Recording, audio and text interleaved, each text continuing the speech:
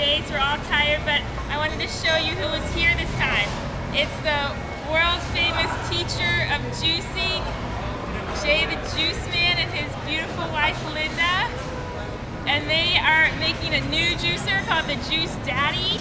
And it's uh, got a regular juicer and a glass craft blender that goes with it. A liquefier. A liquefier. Right. To get all your fresh fruits and vegetables every day. To be that's what they healthy. And to mix your protein powders in or what have you, vitamin E, wheat germ oil, whatever, you know? Everything. Everything he said. And he's almost 90 years old. So this is the um, best juicer in the world. Oh, you're gonna love it. I'm telling you right now.